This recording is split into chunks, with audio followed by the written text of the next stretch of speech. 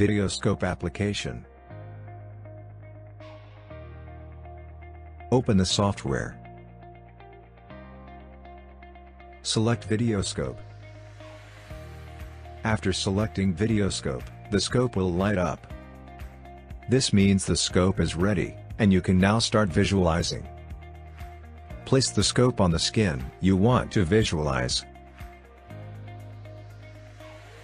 You need to adjust the black turn dial to focus the image.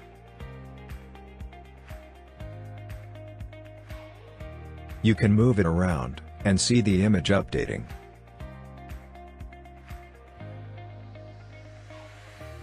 The scope has two different magnifications, which you can find, by turning the black turn dial.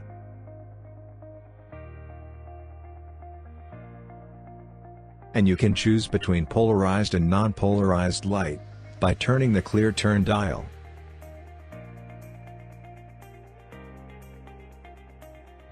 When your desired location is found, press freeze to take an image. As always you can save, print, or open previously saved data. Just press the start button again, to continue the video.